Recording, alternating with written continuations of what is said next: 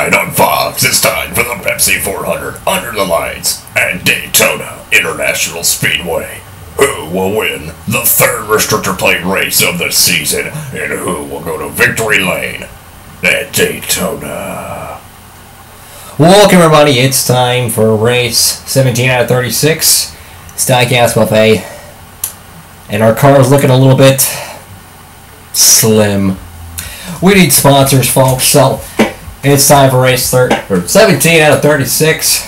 Pepsi 400 underneath the lights at Daytona International Speedway. We've been preparing for this one ever since they threw the checkered flag in the Daytona 500. I'll tell you that one. So, um, let's take a quick look at our schedule. And as you can see, after this, it's going pretty downhill. We might get another pull at Pocono. Uh, New Hampshire could be hit or miss, and Chicagoland could be hit or miss as well. But as you can see, the next wild card track is Watkins Glen, and we're a little bit farther away. But I'm very looking forward to Darlington. I'll tell you that, folks. If we can get a if we can get a higher horsepower car and go to Darlington, don't look now, but we can win. I'm just saying. I'm just saying we can win the Southern 500. All right, so as you can see, Hills Brothers decided to say, "Nah, we're out of here." So we're gonna have to um, get some these sponsors on the car. Uh, NASCAR.com, they are so far happy with us. They like us in terms of our qualifying, which is really good because I'd rather have someone who wants me to qualify in a certain spot than finish in a certain spot. Because in qualifying, you don't have to worry about wrecking your car or anything, you know.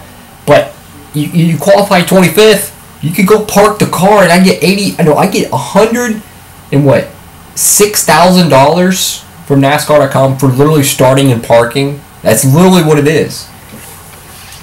Um, oh, look at that. What? How? 40th place? Oh my goodness. And the prestige is super good. But let's see. Average finish in 35th. No. If we just finish in 40th, look at the. Oh my god. NASCAR.com would be a, such a great. Finish ahead of Mike Skinner. Let's see. Hmm, do we go with NASCAR.com or do we go to Kmart? I think NASCAR.com would probably be our best bet in terms of financial. I mean, I really don't want to have NASCAR.com on the hood of the car, but the money is there. Let me see. If we finish, average finish in 35th place. Let's go look at our average finish. Let's go look at it, and this will tell you whether we have Kmart or we're going to have NASCAR.com in the Pepsi 400 underneath the lights at Daytona. So, let's go and find us somewhere down here and our average finish, as you can see, is borderline top 35. Now, um, do we take this? The thing is, is if we're outside the top 35, we're not going to get anything. And the way the season's going, I think it's only going to go downhill a little bit. I personally think it would be a much smarter play to go with NASCAR.com, considering considering their happiness is at 59 and their prestige is at 57, meaning the if and this is a very easy, um, very very easy expectation. Finish in 40th place. If we pretty much just don't DNF, we'll get a extra. We'll get thirty-two thousand dollars. So basically, forty k from them if we finish in 40th, and then we'll get hundred and six thousand dollars for qualifying 25th.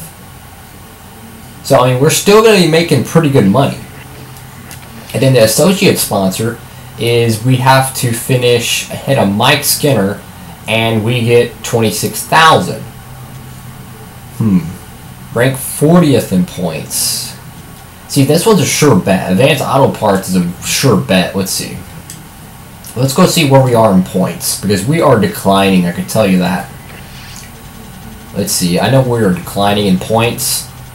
So yeah, we're 40th in points. Oh man. But that's the thing is that we could take the safe bet.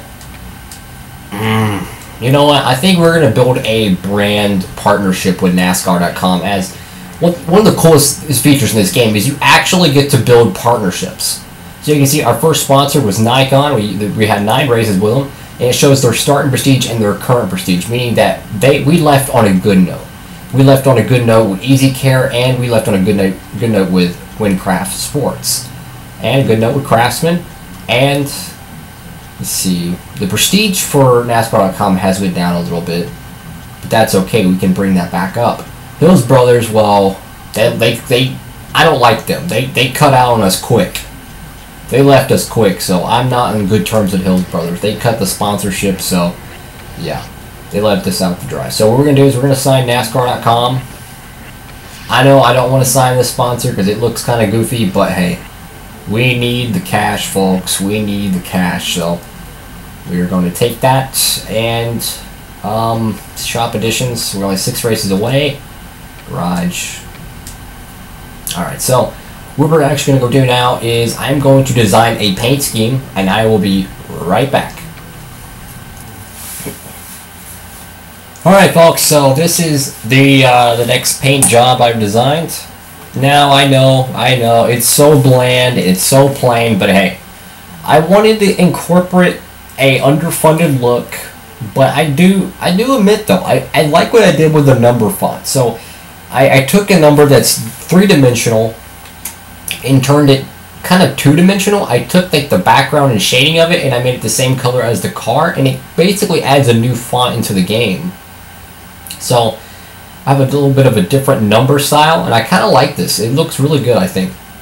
But again, it's an underfunded team. I wanted an underfunded look. So the way I'm kind of going with this, I'm role playing it as, is that Hills Brothers. The reason we had our car completely wrapped is because that was a full term sponsorship. NASCAR.com is coming on to kind of help the team out a little bit, but we're not a full uh, blown gig. And speaking of which, I wonder how uh, how long we have them as a sponsor. So they're going to be see, like I said, it's a so this is pretty much a small turn gig. As they're on the back of the car for 11 races, but this is only a 9 race deal. So we're going to have to sign some new sponsors by the end of the season. But the happiness is there, the prestige is there. If if we could just not have a DNF, we'll be all right. We will be all right. The big bonus is still there for a long time, so we need to take advantage of that. So the engine, we have ourselves a good engine for Daytona and we are going to be building a chassis shop when we get uh, a little bit more money. So I'm hoping we can go to Daytona and we can have ourselves a great race. Alright, so let's go to Florida. Let's bring the best equipment possible. I'm going to bring whatever is the best equipment we have. Whatever that engine power, 58. It's going to be the best engine we've had all season long. We started out with a 53 power. Uh, we're going to go with that. And we're going to want a little bit more downforce. We'll take that as well. It's a 54 car rating, but hey, we're going to go for it, man. We are going for Under the Lights at Daytona International Speedway. Alright, folks, so we qualified 27th for the Pepsi 400 underneath the lights at Daytona International Speedway. And let's sit it down to pre race ceremonies. Tonight, it's Super Speedway action under the lights. MRN is live at the Daytona International Speedway this evening with flag to flag coverage of the Pepsi 400. To win a race is something pretty special at any track. But to win here at Daytona, you're that much closer to becoming a legend in the sport. Well, you're right. To have your name mentioned as a former winner here at Daytona puts you on a list with some drivers that these guys have admired since they were kids. Kevin Harvick always finds a way to qualify up front at the super speedways. Starting up front can be a real boost on race day. Now all he has to do is stay there for the race. The NASCAR.com car has not had the That's a lot of rivals. in the past couple races. Oh, he definitely wants to turn things around starting now. His whole crew seems determined to pull out of this slump. I wouldn't be surprised if they pull off at least a top 15.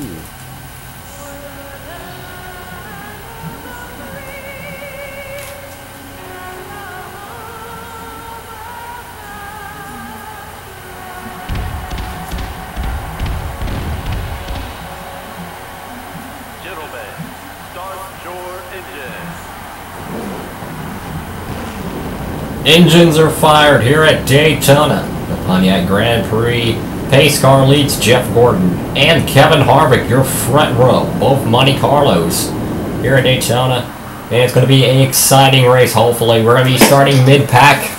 Not too far, not too close. Just right in the middle. And here we go, folks. It is boom or bust. Come home with a trophy or a steering wheel. We're going for it tonight. We have absolutely nothing to lose and everything to gain here on the, well, NASCAR.com Monte Carlo. And, well, they're slowing up here. Oh! Dang, I thought we were going to get underneath the one car. Turns out, no. That's okay. Just going to keep digging, keep digging, keep digging. Come on. You just get up to speed, then we'll be alright. But, again, our goal today is absolutely win or nothing. We, I, I'm going for the win today. I'm going for it. Do I think we'll win? Who knows? I have absolutely no clue. Let's be realistic. You know, but if it, if I could take a chance to win this race, which means Mike tearing up the race car, I'm going to tear up the race car. I'm going to do whatever it takes to win tonight.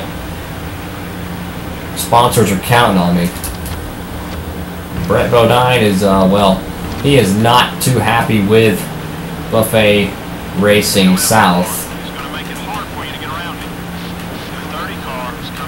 Whoa! Car down low. If we can just get a draft, we can get around this 11 car before he blocks us to the yellow line. I don't care. I don't care. I don't care. Oh, really? You're going to hit me at a restrictor plate track? What a jackwagon. What a complete jackwagon. Yeah, let's try to wreck someone at Daytona. That, that's literally just trying to kill someone. Like, seriously, if you turn someone, like, if you just hook them in the right rear, right, and just turn them straight in the wall, you can literally break someone's neck. Uh, that's just, just ridiculous, Brett Bodine. Just a piece of trash driver trying to just run me off the road. Well, there goes all our momentum because Brett Bodine got his panties in a wad and decided to take out his revenge at a restrictor plate racetrack. So, that goes a lot from the race team. But we're not going to take any tires today. The, the setup is for minimum tire wear. We are going to take absolutely no tires today, no matter what. No tires. Full tank of gas. That's all we need. I'm not giving our crew any opportunity to make a mistake.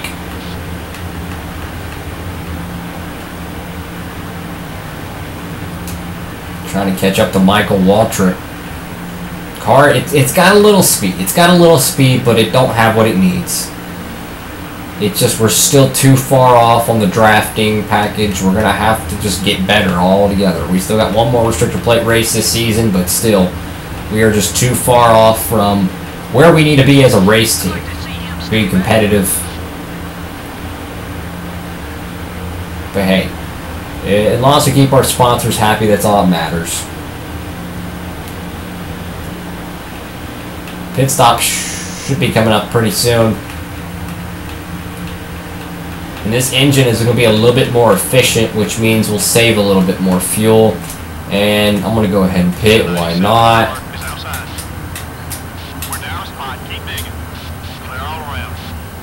Okay, good clean entry to pit road. We're going to pause it real quick and do our pit options here so we don't mess up. So we're going to take no tires and no damage. Um, we take the okay we're gonna take full fuel and okay so that's what we're gonna be taking is that no tires nothing so should be about a 9.3 pit stop assuming we don't have any issues but I figure not taking tires gives our crew less opportunities to make a mistake I guess they're still wearing the old fire suits from the Hills Brothers sponsorship I'll have to change that There we go. Good clean pit stop. Perfect.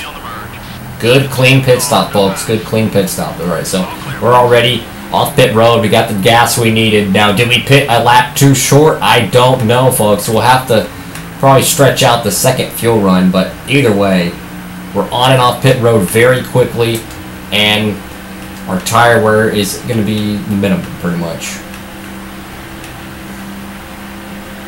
I mean, it could have been a mistake. I don't know. We'll figure out how this race plays out, but we'll have to probably stretch the second run as much as we can. This engine's going to be a little bit efficient, a little bit more efficient, which means it won't consume as much fuel. But still, you really never know. You really never know.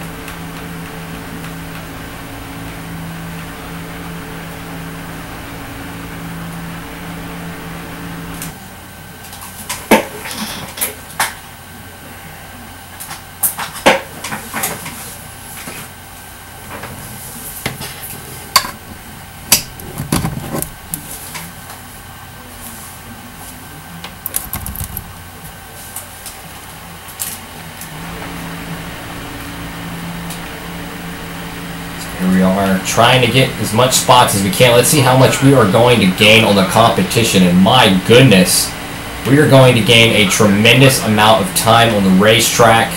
We're already 13th place. We had a, a very, very, very efficient pit stop, but we pitted a lap or two early. So that could really burn us in the long run, but who knows? We'll have to see how this plays out. We pitted from what, 26th, 27th, and we're 13th. And guess what? We're ahead of Michael Waltrip, the guy who was ahead of us. So that pit sequence, we gained a lot of time, and I think Michael Waltrip might have done a gamble as well. As he was battling around 27th, 27th, 26th, and me and him are both inside the top 15 here at Daytona. So that means he did some gambling and we did some gambling, and sure enough, it actually kind of worked. But fuel mileage, folks, fuel mileage is going to be a huge issue. Can we make it on gas? We ain't gonna know until the second run is done. Trying to see if we can keep Waltrip back here. I don't think we're going to. He is super fast here at these restrictor plate races. I believe he won Talladega, to be honest. I think he won Talladega this year. He's just so fast. He, so we're already halfway on gas once again. We are going to gamble as much as possible, folks. I can't stress this enough. We are going to gamble as much as possible. We have absolutely nothing to lose on this race team, and right now, we are super close on fuel, and this could be a really bad situation for the team. We cannot afford to pit early. That's the bad thing. Tell you what, is there a way we can change our, um, oh, what do you want to call it? Our pit gauge, or there's got to be a way to see gameplay settings, display. Um, there's got to be a way info display, track no track. There's got to be a way to, because on a Thunder 03 they had it. I guess not. I guess not. See. Oh. Doesn't look like it, folks. So, because on NASCAR uh, Thunder 2003, you can click the A button and your your whoa and your speedometer and tachometer, whatever you want to call it, actually turned um, from a square to a circle, pretty much. It actually changed, and the fuel mileage changed as well. Instead of being a bar saying you know E to F, it actually went to like 15.6 and it would count down 15.5. So that's how much fuel you have in your race car. And you could calculate that each lap. So let's say you had 20 uh, points of fuel and you drain 1.5 per lap. Then you would know how many points you consume per lap and you could adjust your fuel mileage plan door that. What I'm trying to say is it allowed you to accurately um, tell when you're going to pit and when not. This uh, is a much more realistic and complicated way. We're not going to pit yet. We can't. We have to stay out. We have to stay out, unfortunately. Yeah, see, this is where we're going to have to... This is the, the gamble we're going to have to pay. If we had we pitted with four to five laps in the race, we're going to have to make four to five laps once more. Uh-oh. Come on. Just get around the back straightaway, little car. Come on. I'm having to feather the throttle. We are on E, folks. We're about to run out of gas. We're going to have to try to make it down pit road. We are out of gas. Dang it. Come on. Uh-oh. Alright. If we can plan this right, we'll be okay.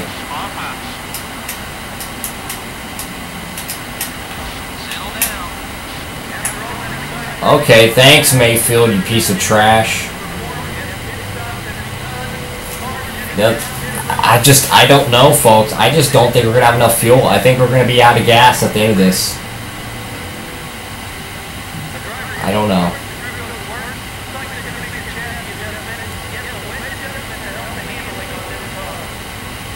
Come on, go, go, go, go. Nine point. Oh my lord! What are you doing? 12.2. God. I guess it's because the fuel tank was completely ran dry. I guess. Dang it. Dang it. Dang it. Oh! There's Michael Waltrip. Well, we lost time on the racetrack, of course. Man, I just. Oh, I just want to get a good finish so badly. So frustrated. We got everything we could out of the field. I'll tell you that. We got everything, so if we run out of gas, we run out of gas, so be it. One thing's for sure, we need to draft. We need to draft. If I can just catch somebody. My god, car, go! If we could just catch somebody, we could save a little fuel. This car just will not keep up to save its freaking life. It's just so daggum slow. Come on, you piece of junk. Go!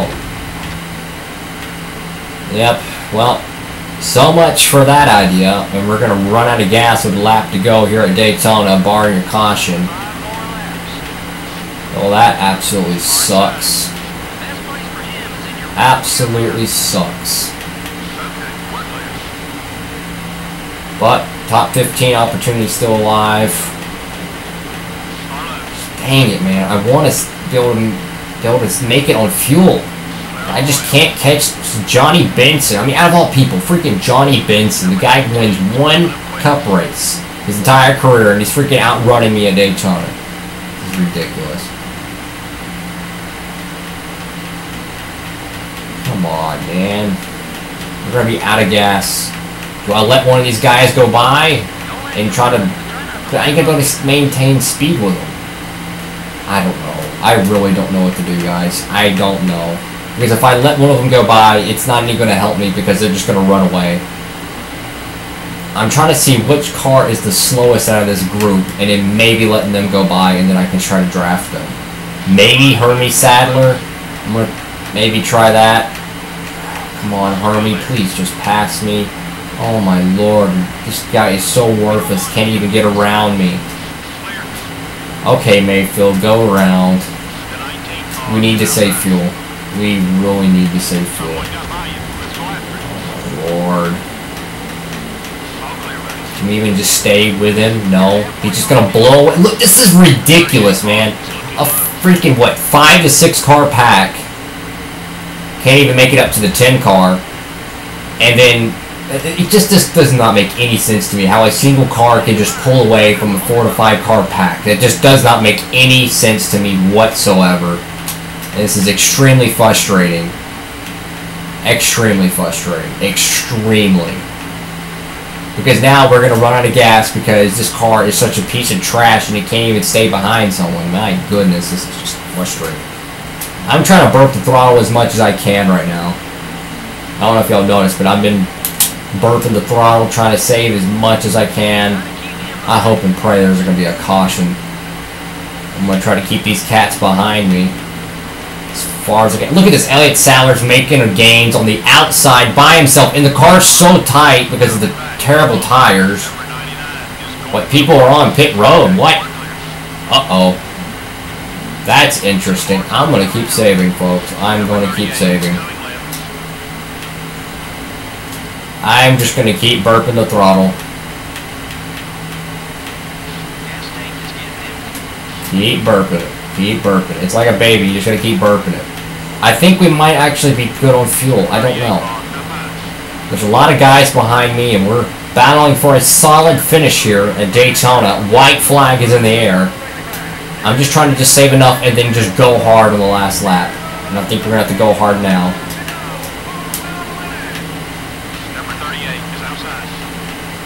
Ah, you piece of trash. Thanks, Alex Sadler. I shouldn't have went up there and blocked, but I went for it. That's Sadler's fault, it's my fault. Okay. This is it. Can we last one lap around here, or we're gonna run out of gas? If we can keep it single file, I can kind of burp the throttle and kind of give them a heck. Because we are just about on E right now. Yep. Same scenario. So we're going to run out in the middle of three and four. Of course, everyone else is good on fuel.